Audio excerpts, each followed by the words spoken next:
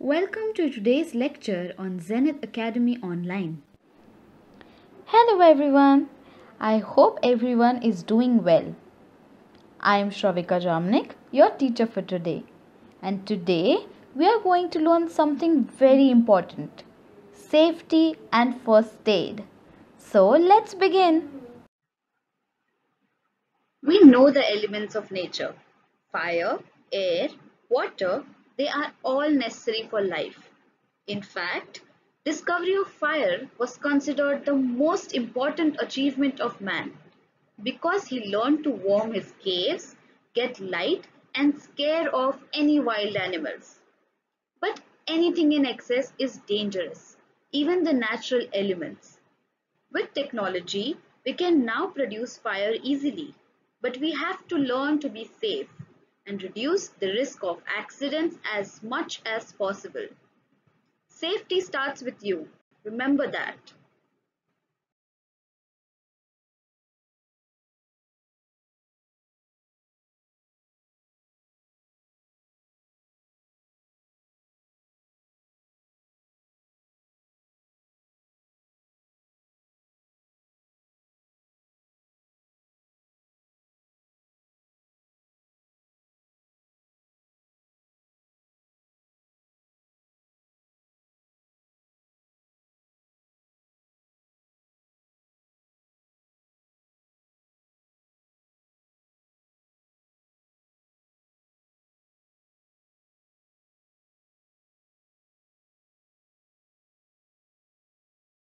Let's take a look at some fire hazards.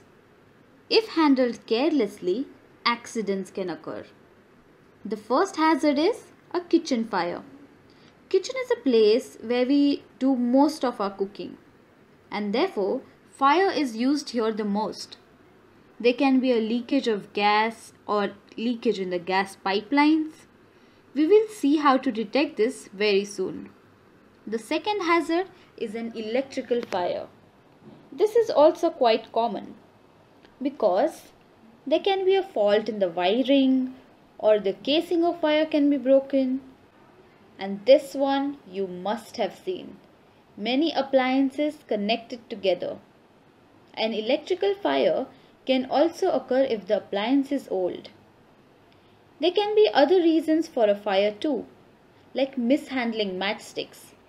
Sometimes you may think it's cool to play with matchsticks, but really it's not cool. Never play with matchsticks. You're putting your life at risk.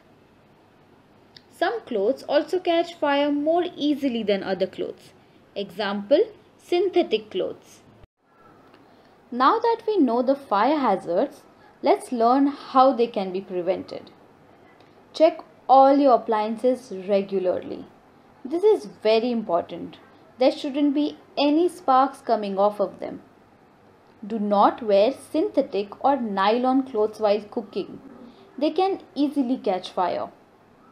Gas pipelines may have leakages, so please ask everyone to check for any gas leaks. The test for this is quite simple. Apply a layer of soapy water on all your gas pipes. If there is a leak, the soapy water will start generating lather. This is a simple test, but it's very useful.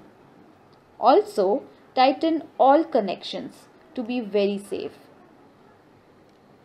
Gas usually also has a rotten egg smell. So if you smell something, open all the doors.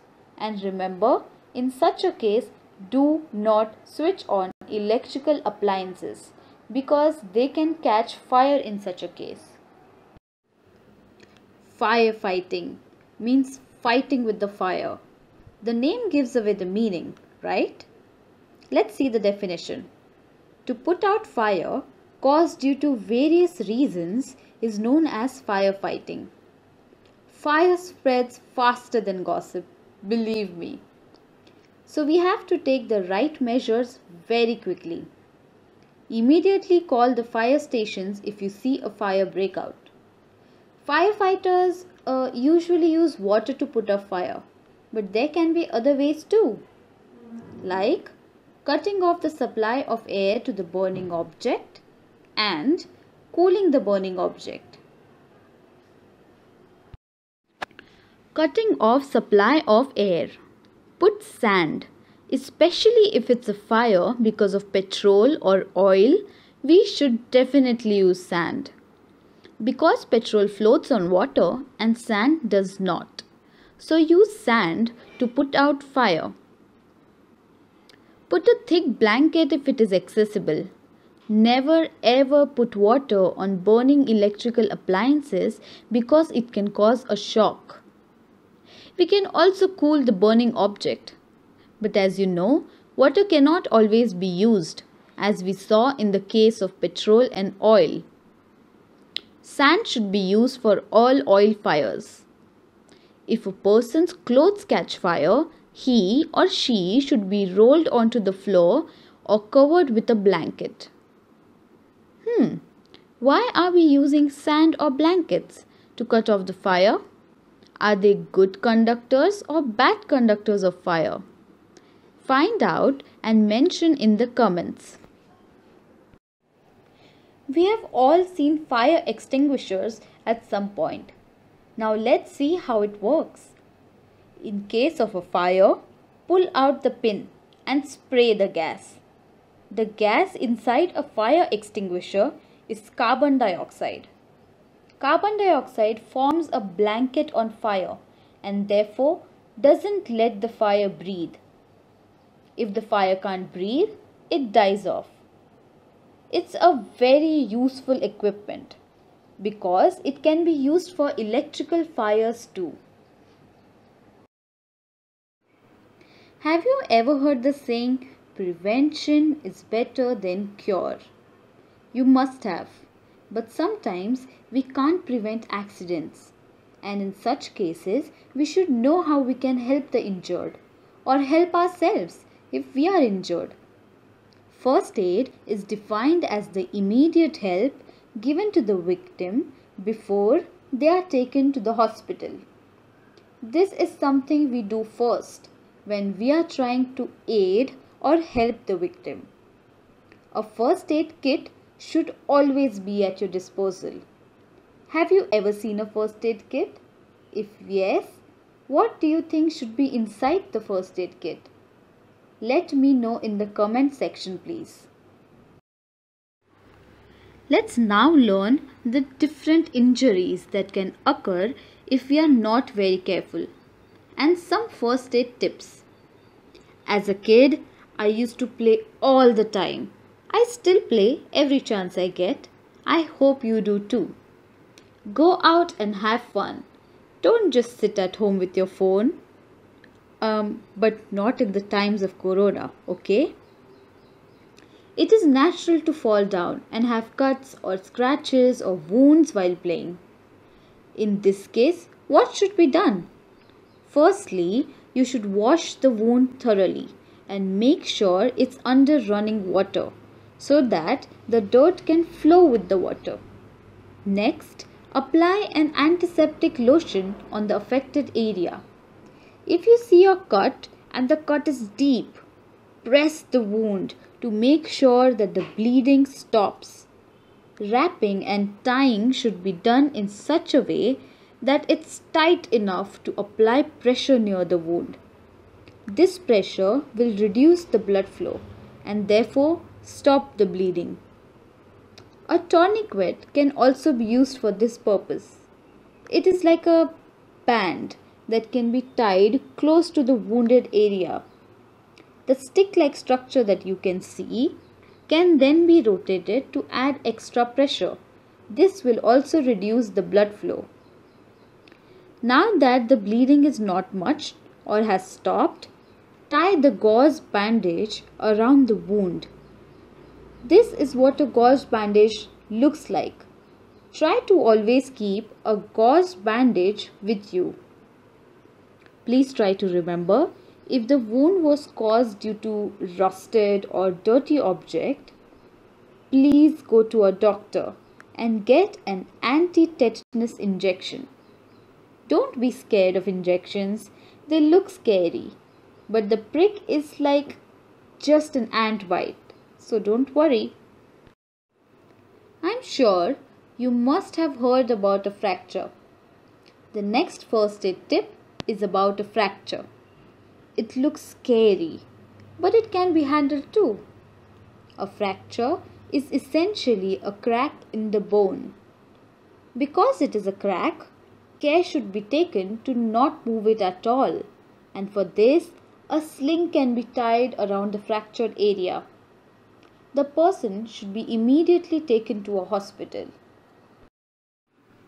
The next first aid tip is for sprains. What is a sprain? A sprain is a condition in which the tissue is injured around the joints. What can we do in such a case? We can use an ice pack for some relief to the affected area. Also, immobilize the affected area by tying a band-aid around the joint. This is very important. Please keep this in mind because sprains are very common. The next first aid tip is for animal bites. Animals like dog, cat, monkey contain a disease known as rabies in the saliva. And when these animals bite you, the saliva can remain on the injured place and this can give you a disease known as rabies. So you should immediately rush to a hospital and get anti-rabies injection. Next is snake bite. A snake bite may not be very common now, but you should still know all the precautions. You should tie a tight band-aid above and below the bite. This is because the venom should not spread in your bloodstream. So the band-aid should be tied very tightly and you should immediately be taken to the hospital. Next is a wasp sting. Have you seen a wasp? This is what a wasp looks like. In case of a wasp sting, apply vinegar or lemon juice. This can give you some relief. The last but not the least first aid tip is for burns. I hope you remember about the dangers of a fire. If you don't, please go back and try to read it again. Let's learn about what we can do in case of a burn due to fire or chemicals. Burns are of two types, minor burns and major burns. In case of a minor burn, keep the burnt area under cold running water. Then after some time, apply antiseptic lotion or a paste of baking soda and water. You should definitely consult a doctor. In case of a major or severe burn, you should cover the area with clean cotton. Blisters may form in case of a major burn. If blisters are forming, do not prick the area. And in case of a major burn, the patient should be rushed to the doctor.